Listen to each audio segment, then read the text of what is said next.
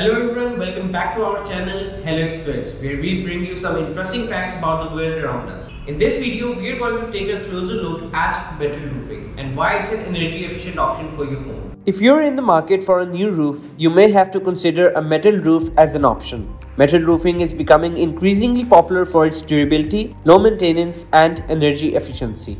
One of the key reasons metal roofing is energy efficient is because of its reflective properties. Metal roofs reflect sunlight which helps to keep your home cooler during hot summer months. This means that you can save money on your energy bills and reduce your carbon footprint by using less energy to cool your home. In addition to reflecting sunlight, metal roofs are also great at reducing heat transfer.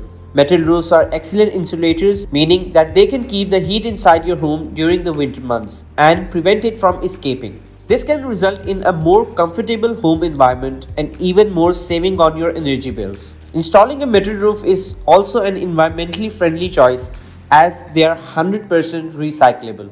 The maintenance of a metal roof is going to be similar to maintenance of any other roof. I mean, if you see debris up there, let's clean them off. Typical metal roof maintenance is generally going to be a little bit less than a shingle roof. Are metal roofs energy efficient? The answer is yes. But in order to understand how, we need to know how metal roof colors work to save you money.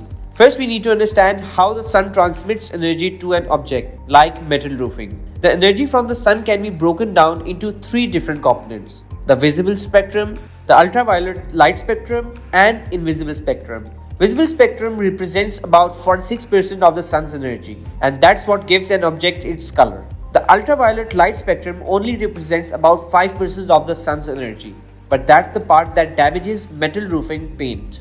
Finally, the invisible spectrum, which represents about 49% of the sun's energy and that's the part that contributes to the heat buildup and gain. Several studies show that reducing the attic temperature of a house results in lowering demand for energy to drive the air conditioning system to cool your home. So how can metal roof help us control your attic temperature? One way of controlling heat gain is by installing a metal roof system with paint that contains infrared reflecting pigments. The infrared reflecting pigments lower the attic temperatures in two ways. The first way is by initially reflecting some of the sun's energy from the invisible spectrum. The most noticeable example of this method is when you try to look at a shiny object on a sunny day, and the glare is nearly blinding like the chrome on my Harley. The second way infrared reflecting pigments work is by their ability to release some of the heat that isn't initially reflected. A good example of this is when you touch a metal object that's been sitting in the hot sun. Depending on the color and whether the object is painted with infrared reflecting pigments, some metal seems hotter than others well.